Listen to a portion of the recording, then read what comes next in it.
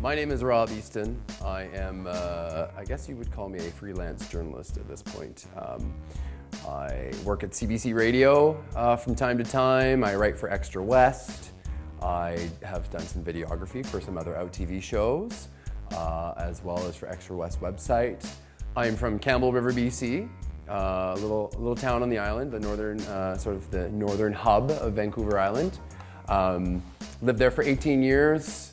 Uh, then I moved to Victoria, lived there for six years where I went to university. I've lived in Montreal as well, and, and now I live in Vancouver. Sean and I, we both knew who each other were. He's from Victoria, and he went to UVic at the same time I did. We used to check each other out. I used to see him at the gym, and, uh, and I worked at the campus bar. So we definitely knew who each other were, but we never spoke to each other, didn't know each other were gay. And then years later, probably, I don't know, two, three, four years later, we both ended up in Vancouver and, uh, and like, we met on the internet.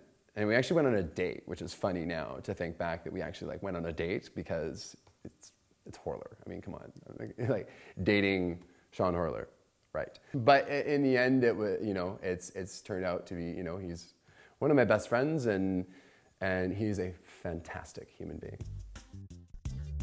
Our friendship outside of the show is actually very supportive. Uh, I like I have a real competitive streak, and you'll probably see a lot of uh, me pissing Sean off. And, and just because it's a competitive show, like the nature of the show, it kind of brings out an ugly part of my personality. Um, and that definitely started translating into our friendship because we really did push each other's buttons a lot, you know. And, and like I, I definitely pushed the boundaries. I, I think with the bus driving episode, I don't think he's still fully over like the buttons that I pushed. Like he's still like I don't I don't bring it up that much around him. Sometimes I do, but you can see you can see it in his face. He still hates me a little bit for it.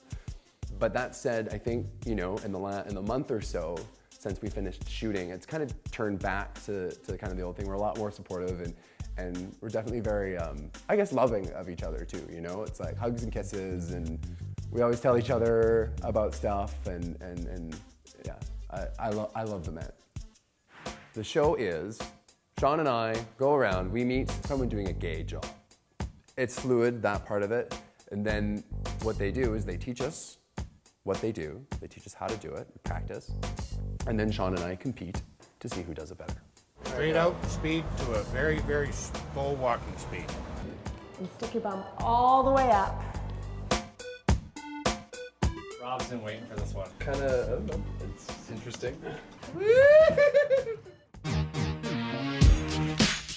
you should watch the show because it's really exciting and because it is two people learning about themselves and about the world and taking risks and putting stuff on the line. And that's always exciting to watch. It's just entertaining. Hi, I'm Rob Easton, one of the hosts of Don't Quit Your Gay Job. It is about to premiere this August 31st, 2009 on Out TV. You better tune in, or like my co-host says, or else.